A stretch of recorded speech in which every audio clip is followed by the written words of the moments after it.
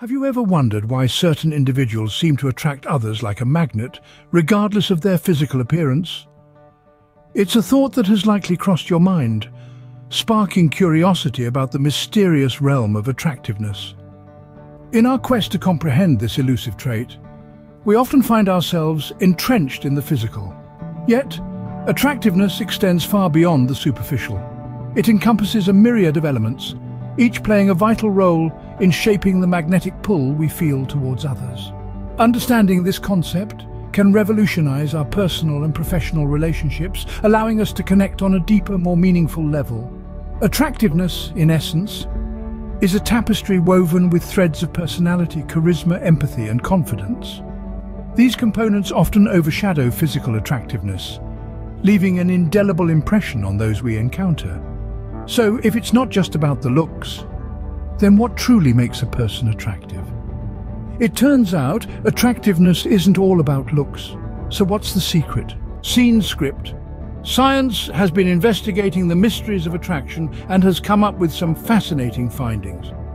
Let's delve into the intriguing world of human attraction. You might think it's all about looks, right? But research paints a different picture. It's less about how you look and more about who you are. Recent studies have shown that traits like kindness, confidence, humour and empathy are incredibly valuable in the eyes of those we seek to attract. Let's start with kindness. It turns out that being kind can make you more attractive, especially in long-term relationships. Kindness signals that you're a good partner, someone who can provide support and care when needed. Then there's confidence. It's magnetic. Confidence communicates that you're comfortable in your own skin. And that's attractive. It shows you're not afraid to be yourself, to take risks, to stand up for what you believe in. Next up, humour. Who doesn't love a good laugh? Humour not only lightens the mood, but it also builds connection. It's a way of saying, hey, we're on the same wavelength here. And let's not forget empathy. It's the ability to understand and share the feelings of others. Empathy shows that you're not just focused on yourself, but also on the needs and feelings of those around you. But there's more.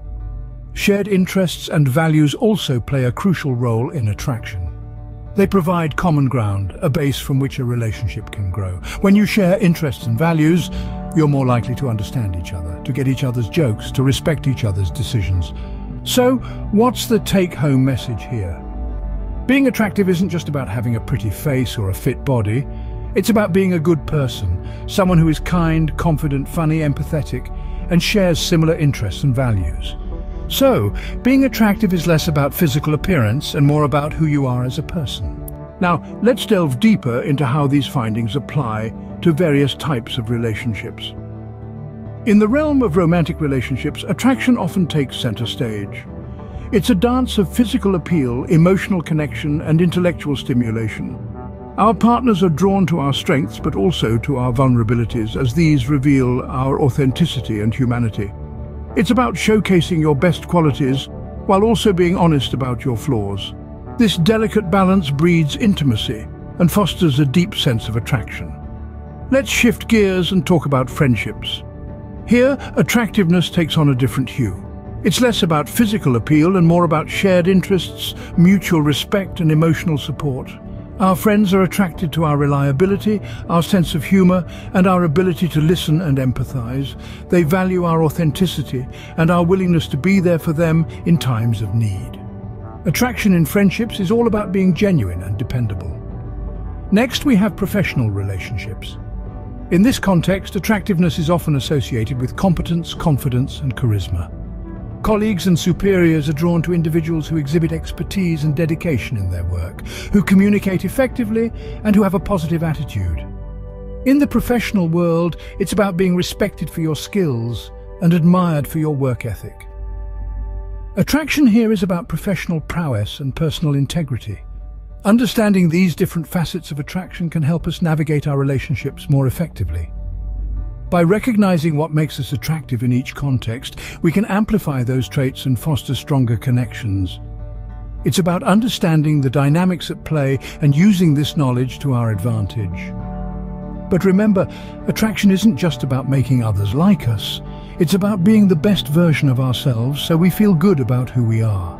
It's about cultivating qualities that make us feel proud and fulfilled, and that in turn radiate outwards, drawing others in. Understanding these factors can be the key to enhancing your attractiveness in any relationship. Now that we know what factors contribute to attractiveness, how can we cultivate these qualities? First and foremost, let's talk about empathy. Being able to understand and share the feelings of others is a magnetic trait. It's like a beacon that draws people in. So how can we become more empathetic? Start by becoming a good listener, really hear what people are saying and respond in a way that shows you understand. Practice putting yourself in someone else's shoes.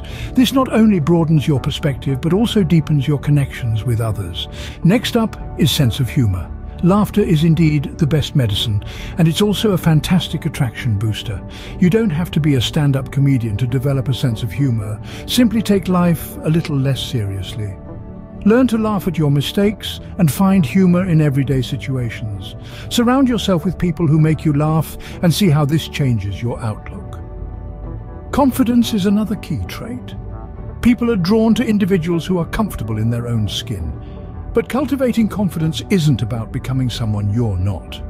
It's about embracing who you are, flaws and all. Start by celebrating your strengths and achievements. Set small, achievable goals and work towards them. With each accomplishment, your confidence will grow. Remember, confidence isn't about being the best, it's about being the best version of yourself. In addition to these, maintaining a positive attitude, practicing kindness and showing genuine interest in others are also powerful ways to boost your attractiveness. Remember, attractiveness isn't just about physical appearance. It's about who you are as a person. Cultivating these traits not only makes you more attractive to others, but also contributes to your personal growth. So keep exploring, keep learning and keep growing. The journey to becoming more attractive is a journey of self-discovery and personal development. It's a journey well worth taking. The real power of attraction lies not in how others perceive us, but how we perceive ourselves. We've all heard the phrase, beauty is in the eye of the beholder. But have you ever considered that the most influential beholder might be you? Yes, you. How you see yourself plays an astounding role in how attractive you are to others. Let's delve into the realm of self-perception and self-confidence. These two elements are the unsung heroes behind the magnetic allure we often admire in individuals. When you hold a positive self-image, an infectious energy radiates from within you, naturally drawing people towards you. You become like a beacon of light in a room full of shadows. How, you may ask? This simple yet profound phenomenon unfolds through an intricate dance of psychology and sociology. When you perceive yourself positively, you emanate self-assuredness and confidence. This energy is palpable and others, consciously or subconsciously, pick up on it. It's an almost magnetic force that makes you more approachable, more likable, and yes, more attractive.